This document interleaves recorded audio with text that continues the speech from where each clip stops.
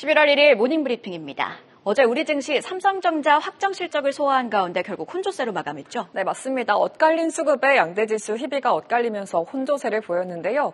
밸류업 등 대형주들은 쉬어갔지만 반도체 소부장 종목들은 강했습니다. 네, 간밤 뉴욕 증시에서 기술주들이 하락한 점은 다소 부담스러운 그림입니다. 부디 이 역시 잘 넘기길 바라며 11월의 첫 거래일 모닝브리핑 지금 바로 출발합니다. 10월의 마지막 날도 쉽지만은 않았습니다. 10월 31일 목요일이었던 어제 외국인은 코스피 현물을 강하게 매도합니다. 여기에 대형주들이 크게 밀렸는데요. 코스피 시총 상위 12종목 중 삼성전자 홀로 강보합권에서 마감했으며 나머지 종목은 모두 하락했고요. 코스피는 결국 1.4%나 하락합니다. 한편 코스닥은 삼성전자 실적 발표 이후 반도체 소부장주들이 힘을 내며 상승 마감에 성공했는데요. 외국인 매도세와 대형주 약세 엇갈 렸던 하루. 그럼 자세한 수치와 특징 섹터 먼저 확인해 보고 오시죠. 네, 실적과 미국 대선 등 경계감이 짙게 깔리면서 어제 우리 시장 양대 지수는 혼조세를 보였습니다. 대형주들의 부진에 코스피는 1.45% 약세를 보였고요. 반면에 코스닥은 743포인트를 회복하면서 0.66% 상승 마감했습니다. 선물 지수는 하락 마감하면서 341선으로 밀려났습니다. 수급 상황 체크해 보시면 양시장 현물에서는 완벽하게 선별적인 수급 흐름이 나타났습니다. 코스피는 개인이 5천억 원, 기관이 3천억 원 넘게 매수 우위를 보였지만 외국인이 8,583억 원 순매도하면서 지수를 눌렀고요. 코스닥 현물은 외국인이 1,500억 원 넘게 사들이며 오후 들어서는 상승 전환에 성공하는 모습이었습니다. 섹터별 흐름도 함께 확인해 볼까요? 먼저 화폐 섹터가 강했습니다. 금융위원회의 핵심 금융서비스 지정으로 한국은행의 중앙은행 디지털 화폐, 즉 CBDC의 테스트 사업이 본격화될 예정입니다. 한국은행은 시스템 구축을 마치고 내년 초에 테스트 사업을 개시할 계획인데요. 이 소식에 풍산과 카카오페이 등 화폐 테마주가 강세를 보였습니다. 이어서 우주항공 섹터도 상승했습니다. 우주항공청이 나사와 아르테미스 연구 협약을 체결했습니다. 이번 협약 체결로 양 기관은 지속 가능한 달 탐사 환경 구축과 화성 탐사 준비를 위한 협력에 나서는데요.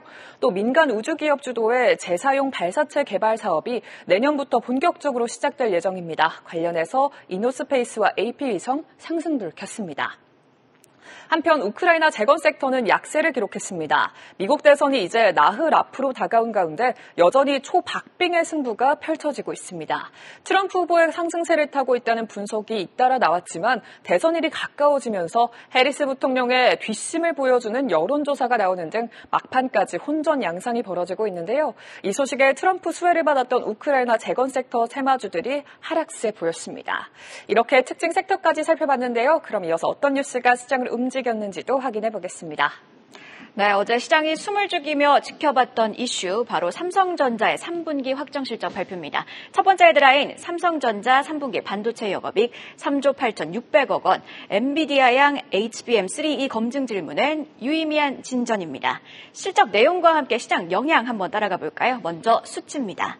이번 확정 실적에는 사업 부문별 실적이 담겼습니다. 영상 디스플레이 사업부와 가전을 제외한 전 사업부에서 매출이 2분기 대비 증가했는데요. 가장 중요했던 건 바로 반도체 부문이죠. 3조 8,600억 원으로 영업이익이 집계됐습니다. 시장에서는 영업이익 4조 원에서 4조 2천억 원 수준을 예상하고 있었는데 이를 밑돌았고요. 높은 일회성 비용과 반도체 프리미엄 제품 비중이 상대적으로 적었던 점이 부담이 되기도 했습니다. 실적 수치에 1% 하락 출발했던 삼성전자 장중에는 방향성을 바꿔 상승폭을 3.5%로 키웠습니다. 변화의 계기가 된 건 바로 컨퍼런스 콜이었는데요. 다음 페이지 한번 살펴보실까요? 일단 HBM 관련 발언이 큰 영향을 미쳤습니다. 삼성전자는 예상 시점보다 HBM3E, 즉 5세대 HBM 공급이 지연됐지만 주요 고객사의 양산 테스트 과정상 중요한 단계를 완료했다고 밝혔습니다. 아마 8단일 것으로 시장은 추측을 했고요. 여기에 4분기 중으로 판매 확대가 가능하다는 발언도 투자 심리에는 긍정적이었습니다. 이에 삼성전자는 올랐지만 경쟁사인 SK하이닉스는 4% 하락했고요. 한미반도체 등 SK하이닉스 밸류체인 기업들도 밀렸습니다. 어제 소부장주들도 컨퍼런스 콜을 기점으로 상승폭을 키웠는데요. 삼성전자 3분기 설비 투자 금액이 12조 4천억 원 수준으로 전분기보다 3천억 원 늘어났다고 밝혔습니다. 다음 페이지 보시면 AI 외 뚜렷한 수요가 증가가 보이지 않는 시황을 반영해 HBM 등 고부가 제품 전환에 초점을 맞추고 있음을 시사했습니다.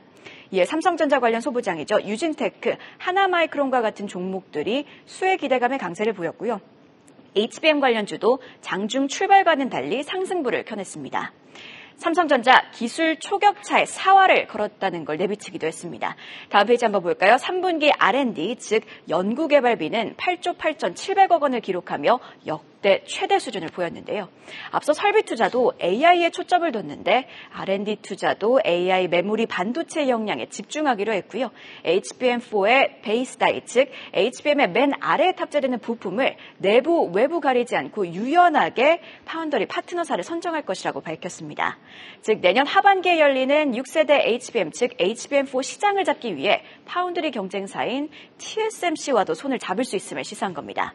자, 그렇다면 증권가에선 이런 노력과 이번 실적을 어떻게 평가하고 있을까요? 일단 주가가 역사적으로 낮은 수준에 있고 최근 악재는 모두 주가에 반영됐기에 추가 하락은 제한적이라고 보고 있습니다. 또 4분기부터 HBM 매출 확대로 수익성이 개선될 것으로 보인다고 했는데요. 다만 유의미한 상승을 위해선 결국 HBM 등에서의 기술 경쟁력을 높일 필요가 있다고 보고 있습니다. 자, 오늘은 삼성전자의 창립 55주년 기념식입니다. 어떤 쇄신 메시지가 나올지까지도 함께 확인해 보시죠. 자, 이번에는 원전 헤드라인 한번 살펴볼까요? 두 번째 헤드라인. 체코 원전, 체코 한국 원전 계약 일시 보류. 하루 만에 프랑스 전력공사와 미국 웨스팅하우스 이의제기 기각입니다. 자, 어제 원전주를 흔들었던 계약 일시 보류 이슈부터 우리 시간으로 어젯밤 11시쯤 나온 소식까지 종합적으로 짚어보도록 하겠습니다. 체코 반독점 당국 한국수력 원자력과의 원전 신규 건설 계약을 일시 보류했다는 보도가 나왔죠. 프랑스 전력공사와 미국의 웨스팅하우스가 이의 제기를 했고 이에 따른 결정이라는 설명인데요. 내년 3월까지 최종 계약 체결을 목표로 했는데 지연 가능성이 어제 제기되자 원전주들은 하락했고요. 대부분의 종목들이 파란불로 거래를 마쳤습니다. 물론 관련주는 파란불로 반응했지만 일각에서는 최종 계약에는 문제가 없을 거란 의견이 나왔습니다. 다음 페이지 한번 보실까요? 특히 지난 윤석열 대통령의 체코 방한 당시 기자회견을 좀 복기해 보면요. 체코 대통령은 한국 수주에 낙관적이라는 발언을 내놨고요. 그리고 어제 반독점 당국의 일시 보류 조치에도 불구하고 원전 건설 사업사가 12월 11월 10월쯤 대규모 대표단을 한국으로 보내 한수원과 세부 협상을 벌일 거란 소식도 전해졌습니다. 이후 어젯밤 11시쯤 나온 뉴스는 이런 긍정적인 전망에 힘을 실었습니다. 체코 반도점 당국은 프랑스와 미국 경쟁사가 제기한 이의 신청을 기각했다고 밝혔습니다. 프랑스 전력공사와 웨스팅하우스가 15일 이내 항소할 수 있으며 최종 결정이 내려질 때까지 본계약 체결이 금지된다고는 밝혔는데요. 다만 항소 결과는 60일 안에 나와 결국 내년 1월 초쯤 최종 결정을 알 수 있을 것으로 보입니다. 관련해서 정부와 한수원은 원전 수출을 둘러싼 불확실성이 상당 부분 제거됐다며 내년 1월 결정이 나오면 3월까지의 절차와 일정에 따라 원래 일정대로 본계약이 진행되는데 큰 문제가 없다고 봤습니다. 간밤 뉴욕 증시에서 원전주들이 하락하긴 했습니다만 국내 원전주 해당 소식에 오늘은 반전을 기대해봐도 될까요? 함께 지켜보시죠. 그럼 어제 장 마감 이후에 나온 공시와 일정도 함께 확인해 보시죠. 네, 장 마감 이후에 나온 공시도 함께 살펴보겠습니다. 우선 실적 공시입니다.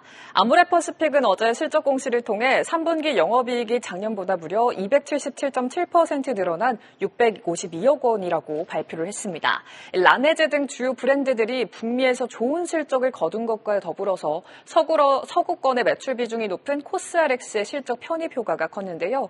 주가는 시간 외에서 상한가를 터치했습니다. 반면 에코프로비엠은 3분기 매출이 작년보다 71 1% 감소한 5,219억 원, 영업 손실은 412억 원을 거뒀다고 공시를 했습니다. 시장 기대치를 상회했지만 여전히 부진한 실적에 투자 심리가 위축되며 시간 외에서는 2.5% 내리막길 걸었습니다. 한편 류광지 금양회장이 보유, 보유, 보유 주식 천만 주를 회사에 무상으로 증여하기로 했습니다. 현 주가 기준에서 4천억 원이 넘는 대규모 투자인데요. 투자자들의 신뢰를 회복하고 설비 투자 자금을 마련하기 위한 결정으로 풀어볼 수가 있겠습니다. 예, 금양은 최근 불성실 공시 법인 지정에 자회사 SM랩의 상장 불발, 거기에 이번에 자사주 매도로 최근 52주 최저가를 기록하기도 했었는데 하지만 어제 시간회에서는 6%대 상승 탄력 받아갔습니다. 오늘의 주요 일정도 확인해 보시죠. 먼저 첨단 부품 제조자 개발 생산 전문 기업인 탑런 토탈 솔루션과 드론과 로봇 에듀테크 전문 기업인 에이럭스가 오늘 코스닥 시장에 상장합니다. 최근 상장주들이 연달아서 공모가를 하회하며 부진한 모습을 기록하고 있는데 과연 오늘 상장되는 두 기업들은 상승할 수 있을지 지켜보시죠. 이어서 암은 오늘 국내 최대 연례 기술 conference인 암 테크 심포지아 2024를 개최합니다. 이 행사는 올해 한국을 포함한 아시아 다섯 개의 도시에서 진행되는데요. 있는데요. 최근 퀄컴과 암홀딩스의 갈등으로 반도체도 투자 심리가 약화된 가운데 어떤 소식 들려줄지도 주시해 보시죠. 한편 베이비몬스터가 오늘 오후 1시 정규 1집 드립으로 7개월 만에 컴백합니다. YG 엔터테인먼트의 신인이 데뷔 1년도 되지 않아 정규 앨범을 발표하는 건 굉장히 이례적인 일이라고 하는데요. 선공개된 더블 타이틀곡 클릭클락의 뮤직비디오가 선공개된 지 하루도 안 돼서 천만 조회수를 돌파하는 등 뜨거운 반응 나오고 있습니다. 최근 아파트 열풍으로 급등했던 엔터주가 다시 상승폭을 키워나갈 수 있을지 기대해 보겠습니다. 이렇게 공시와 일정도 체크해봤습니다. 네, 11월은 부디 달라야 할 텐데 첫 거래인 오늘 다소 부담스러운 그림을 보고 출발합니다. 오늘도 종목 장세가 펼쳐질 가능성이 높은데요. 힘든 시장이지만 최선의 전략 저희와 함께 세워보시죠. 한 발 더 들어가는 투자 insight morning 브리핑이었습니다. 계속해서 다양한 경제 이슈를 알고 싶다면 구독과 좋아요 알림 설정 부탁드립니다. AI 캐스터 권미정이었습니다.